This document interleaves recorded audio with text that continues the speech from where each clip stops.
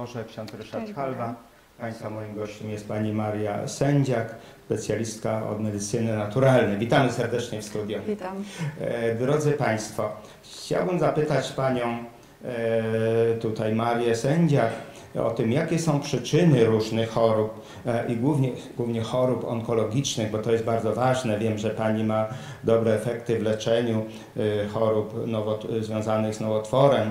Proszę powiedzieć, jakie są przyczyny najpierw. E, ogólnie mam takie zdanie, że obecnie choroby są spowodowane głównie dobrobytem, jak i mm, oczywiście patogenami różnymi, ale dzisiaj chciałabym porozmawiać o diecie przede wszystkim. E, Gdyż e, człowiekowi może się wydawać, że on się odżywia dobrze, może jeść najlepszej jakości składniki, a te składniki będą mu szkodzić. I No właśnie, jakie się składniki, e, składniki szkodzą? Jakie składniki szkodzą?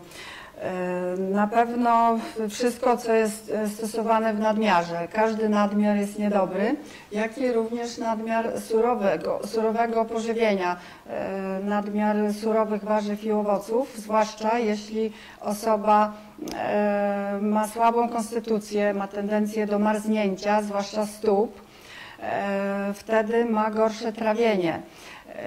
I taki objaw jak luźne stolce, to wtedy osoba powinna wiedzieć, że nie powinna jeść surowych składników, powinna jeść gotowane, dlatego że nadmiar surowego e, nie jest dobrze trawiony, pojawiają się niestrawione resztki w stolcu, e, zaśluzowują się jelita. E, A ponieważ e, jelita są bogato unaczynione, żeby wychwycić e, substancje odżywcze, każdy odcinek jelit prawda, do czego innego służy, do wchłaniania wody, do trawienia, do wchłaniania wody, do wchłaniania substancji odżywczych. Więc jeśli mamy do czynienia ze zbyt dużą ilością surowych pokarmów, jak i również na przykład musli z zimnym mlekiem, e, wiele diet odchudzających e, bazuje na, na takich surowych pokarmach, e, na przykład e, nawet surowe płatki owsiane, surowe musli zalane mlekiem zimnym z lodówki albo z jogurtem i to jest uznawane za super zdrowe, ale to jest nieprawda, Szanowni Państwo. Można sobie tym zaszkodzić na dłuższą metę. Oczywiście nie można generalizować, dlatego że no nie wszyscy e, mają problemy z trawieniem, nie wszyscy marzną, więc nie, nie powinny osoby marznące stosować takiej diety, czyli po, powinny ograniczyć nabiał przede wszystkim i surowe pokarmy. Czyli E, to tak e, samo w białą mąkę. e, może zaszkodzić tak, i, w dalszym etapie- do rozwoju Y, Dokładnie i zaraz powiem, jak to się wszystko y, rozwija.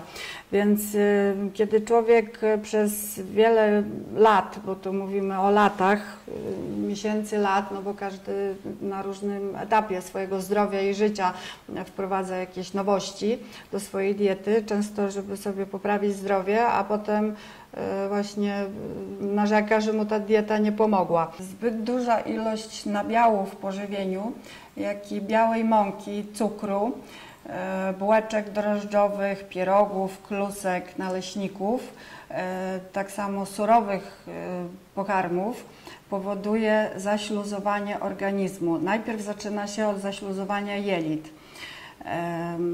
Nie, nie może organizm strawić tych wszystkich składników prawidłowo i powstają resztki niestrawione, które też się przesuwają prawda, do odpowiedniego odcinka jelit. E, Na bazie tej lepkości powstaje taka lepka maź w jelitach.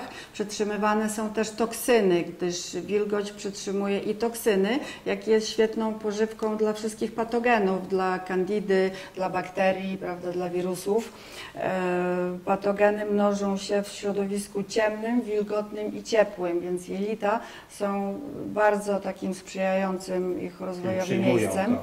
Tak, kiedy te składniki e, odżywcze są wchłaniane e, przez e, jelita, e, przez naczynia krwionośne, które są w jelitach, e, żyłą wrotną trafiają do wątroby, która rozprowadza te składniki odżywcze dalej po całym ciele. I tutaj na przykład wegetarianie potrafią mieć również podwyższony poziom cholesterolu e, i zastanawiają się dlaczego. No przecież nie jedzą mięsa, nie jedzą tłustych mięs, prawda, kiełbas, a mają lekko podwyższony poziom cholesterolu.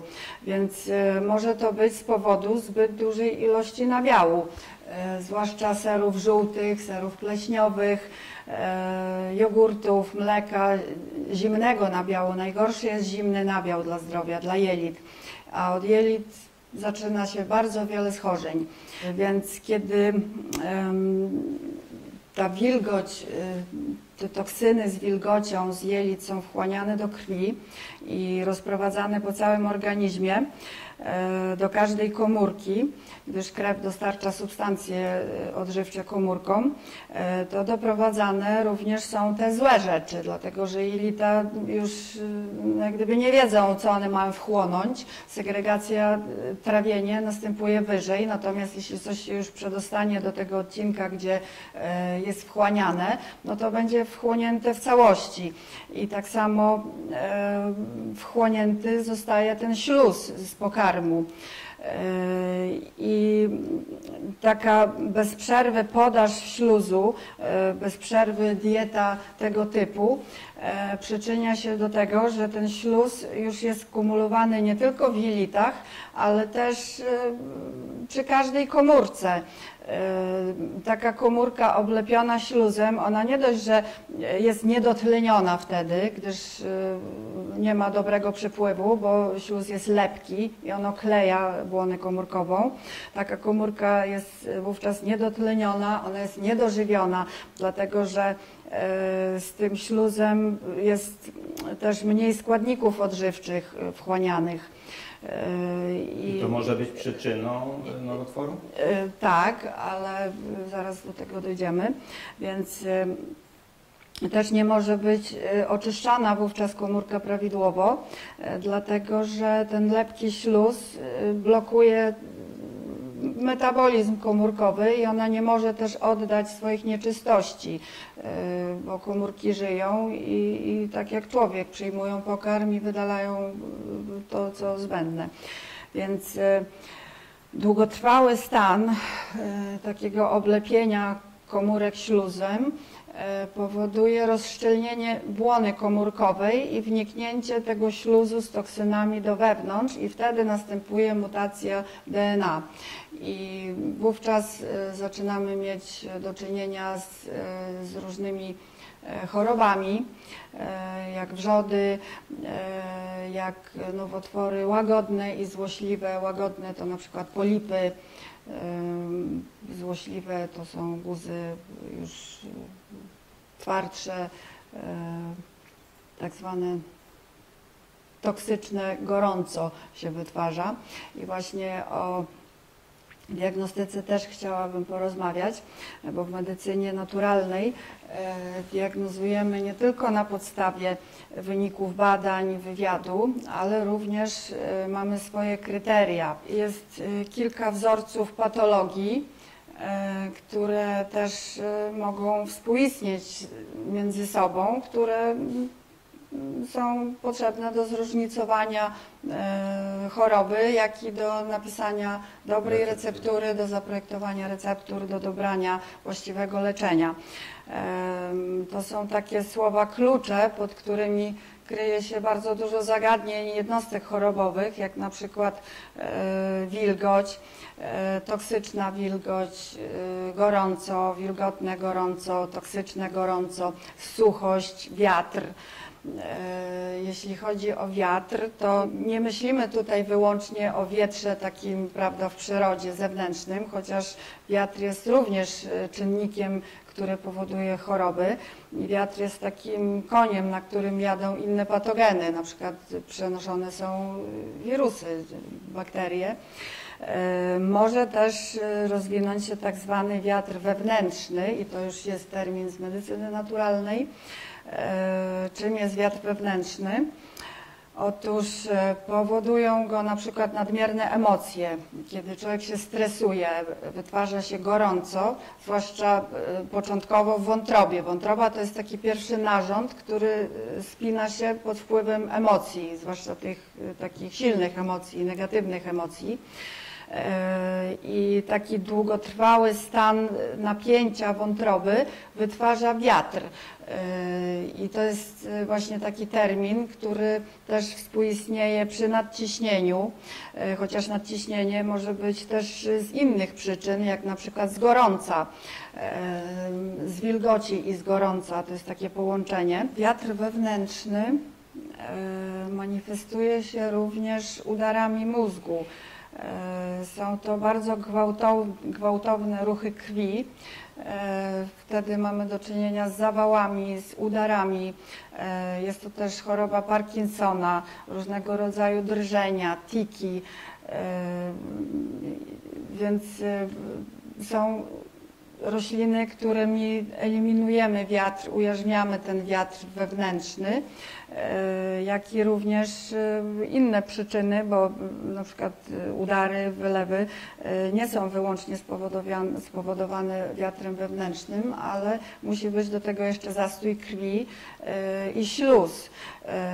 I te gwałtowne właśnie ruchy krwi powodują unoszenie tego śluzu, odrywanie się złogów cholesterolowych, skrzepów krwi i trafianie y, do naczyń. Są zatory, no i mamy do czynienia z poważnymi e, problemami zdrowotnymi. Czyli rozumiem, że e, ważna jest dieta, E, ważna również jest spokojne dieta, życie, bo spokojne stres może życie, się tak. przyczyniać. E, tak? Tak, stres przyczynia się No, y, też również jak i dieta. Bo organizm e, chyba nie jest wtedy e, od, odporny, prawda? Y, Tak, organ, A znaczy, proszę powiedzieć, czy, e, czy powiedzmy nowotwory e, są związane też e, z tym, że, że ktoś w rodzinie miał nowotwór, czy to może być genetyczne? E, Może być to genetyczne, ale jeśli nie zostaną spełnione mm, pewne warunki do tego, które pobudzają nowotwór, no to wcale To nie nie, musi osoba zachorować na nowotwór, chociaż niektóre nowotwory są e, tak agresywne, że bez względu na warunki się pojawiają. To zależy od rodzaju nowotworu. Ale na przykład jeśli chodzi o nowotwór płuc, e, jeśli osoba jest obciążona genetycznie nowotworem płuc i nie będzie palić papierosów, nie będzie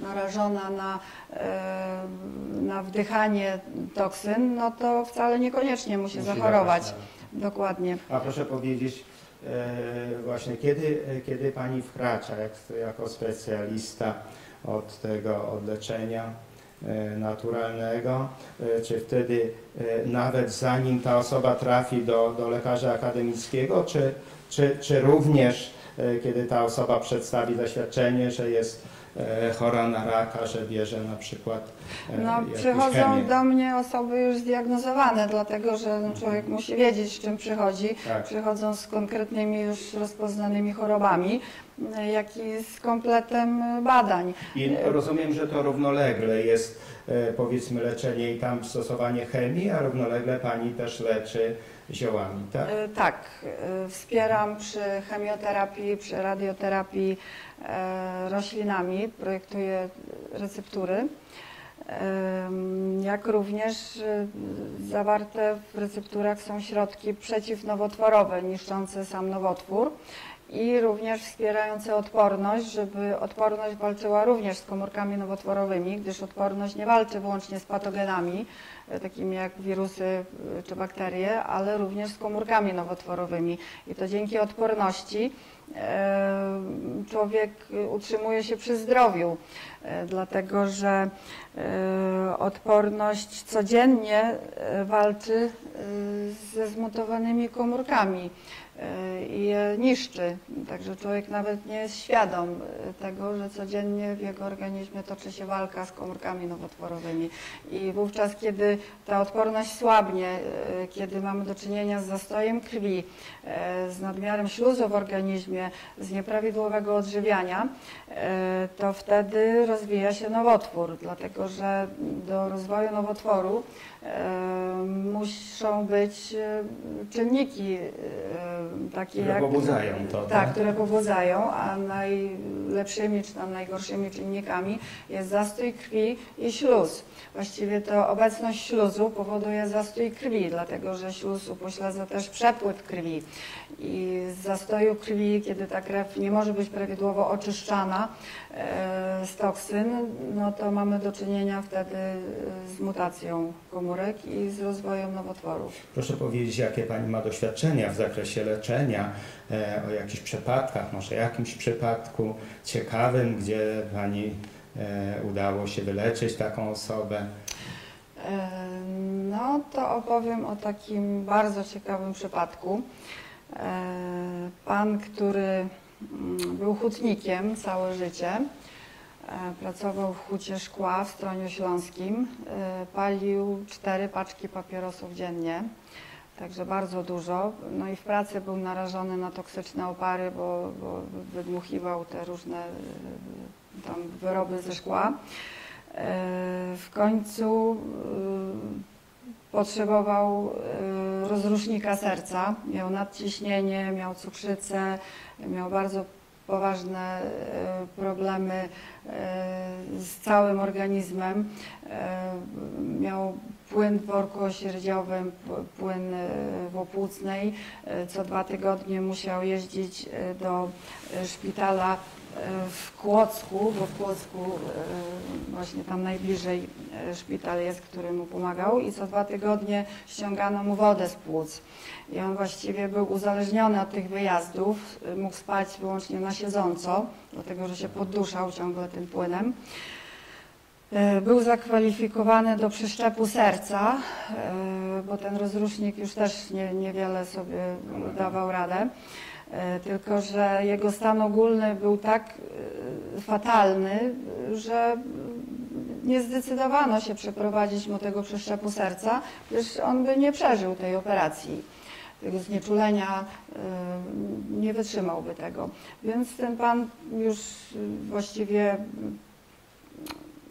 był w bardzo ciężkim stanie, już stracił nadzieję na, na poprawę swojego zdrowia. On już nie mógł chodzić praktycznie. E, miał jeszcze e, problemy z poruszaniem się ze względu na cukrzycę. Miał obcięty kawałek pięty z powodu stopy cukrzycowej. E, Także był w bardzo dramatycznym stanie. E, Pamiętam, że do mnie na pierwszą wizytę e, schodził 45 minut po schodach e, dwa piętra, a mieszkał nad przychodnią, więc dwa piętra w dół schodził 45 minut. To już nawet y, nie myślałam, ile on wchodził z powrotem, bo tam nie było windy w tym budynku. E, No i cóż, y, zbadałam tego pana. Przypadek był bardzo trudny. Właśnie dostałam też informację od y, lekarza pewnego, żebym nie zajmowała się tym pacjentem, że to jest ryzyko zajmowanie się takim pacjentem, że on może umrzeć w każdej chwili, że właściwie już mu nic nie pomoże, niech on już dożyje y, tego swojego czasu, ile tam mu zostało i żeby po prostu y, już dać sobie z nim spokój. No ale po zbadaniu tego pana y, rozumiałam, co mu jest i rozumiałam, jak mu pomóc. Więc zaczęliśmy powolutku zabiegi robić i e, napisałam dla niego receptury. On zaczął e, pić zioła i po dwóch miesiącach leczenia ten pan e, już schodził dwie minuty, tak jak zdrowy człowiek do przychodni, do mnie, bo co piątek przyjeżdżałam do Stronia i właśnie co piątek się widzieliśmy zaczął e, chodzić sam do sklepu na zakupy, gdzie nie było mowy w ogóle o wyjściu z domu. On ledwo do, do lekarza chodził, musiał z pomocą rodziny się pos, posuwać, e, poruszać. E, więc e, e, zaczął też wychodzić z rodziną na spacery, zaczął z powrotem prowadzić samochód. Jeździli, zabierał swoją żonę i córeczkę na Czarną Górę na spacery i potrafili tam pół dnia siedzieć i wysyłali mi SMS-y, że są szczęśliwi, że właśnie spacerują sobie. Też w międzyczasie znaleziono u niego nowotwór nerki, więc to była kolejna choroba, która y, była odkryta. E, No i była możliwa operacja. E, Na czas e, zabiegu operacyjnego musiał być wyłączony rozrusznik, e, gdyż w taki sposób e, trzeba było to przeprowadzić. I wyłączyli rozrusznik, operacja przeszła bez żadnych powikłań, pan wygoił się bez żadnych powikłań, tak jak normalny pacjent, jak no, taki, bez takich poważnych chorób, Tak. prawda? E, Bo wcześniej to nie było mowy nawet o przyszczepie serca, był tak słaby.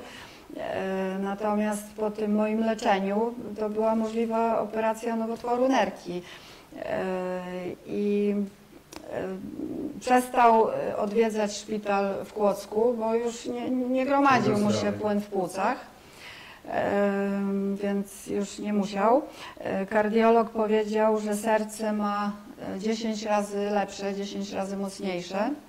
No i pan się poprawiał bardzo szybko.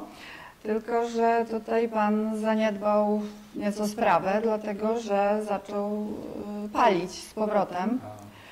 E, zaczął palić z powrotem i no niestety e, nie dało się przemówić mu do rozsądku, żeby on nie palił, e, bo był w tym bardzo uparty i e, uważał, że skoro ja usuwam skutki palenia i, i skutki chorób, no to już będzie tak zawsze, że to palenie, Nie że, będzie że przeszkadzało. że nie będzie przeszkadzało, że będziemy tak właśnie robić, że on będzie co piątek przychodził, ja usuwam skutki e, palenia i on dalej cały tydzień sobie pali.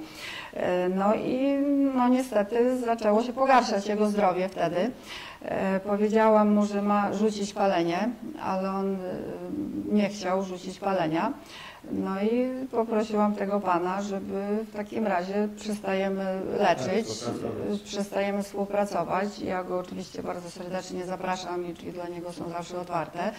E, Właściwie to on mnie też em, sam nie poinformował o tym, że on zaczął palić, tylko wyniki zaczęły jego się nieznacznie pogarszać, a ja nie rozumiałam, co się dzieje. Właśnie nie, nie wolno okłamywać e, Tak, osoby tak. leczącej, dlatego że e, wtedy nie wiadomo, e, no, co się stało, prawda? Czy, Bo lekarz leczy, a tutaj ktoś tak, przeszkody robi. dokładnie. E, I jego żona w końcu zadzwoniła do mnie po kilku tygodniach i powiedziała, że ona już y, no, źle się czuje, ma wyrzuty sumienia i musi mi to powiedzieć, że jej mąż mnie oszukuje po prostu, że nie zasługuje na takie traktowanie. No i wtedy starałam się przemówić do rozsądku e, panu, ale nie dało się przemówić do rozsądku. No i się rozstaliśmy. Tak. No ale drodzy Państwo, widzimy jakie efekty leczenia. Dokładnie. E, tak, Także jest zachęcam do stosowania się do zaleceń, bo jest to państw, dla Państwa dobra stosowanie się do zaleceń. Że na przykład jak e, dobieram dietę, to nie po to, żeby komuś przykrość zrobić, bo ja chcę, no To mu e, odstawię pierogi czy kluski, tylko chodzi o to, żeby wyleczyć. I każdy sobie powinien zadać takie pytanie, czy on jest w stanie zrezygnować z tego, co mu szkodzi, żeby się wyleczyć. Dlatego, że jak e, nie zrezygnuje z tego, co mu szkodzi, przykładowo dieta czy używki, e, to, No to słaba niestety słaba leczenia, skuteczność tak. leczenia będzie. Drodzy Dokładnie. Państwo, cieszymy się z tego, że mamy taką specjalistkę u nas w gabinecie. E, Jak Państwo chcecie wejść, e, więcej się dowiedzieć, to e, wchodźcie na stronę gabinety zdrowia i urody.pl i to będzie między innymi też tutaj podane i kontakt telefoniczny, e, mogą być i, i teleporady, jak również e, wizyty. Wiem, że nie, niektóre wizyty trwają około 4 do 5 godzin. Pani jest bardzo dokładna. Czterech. E, Ale czasami z recepturą to dochodzi nieraz nawet do, do, No, do 5 to godzin. Rzadko. Nieraz a ludzie przy- uważają, przy że to takich- za dużo, 600 zł, a to wcale nie jest za dużo, bo to jest dobra specjalistka i dobrze leczy.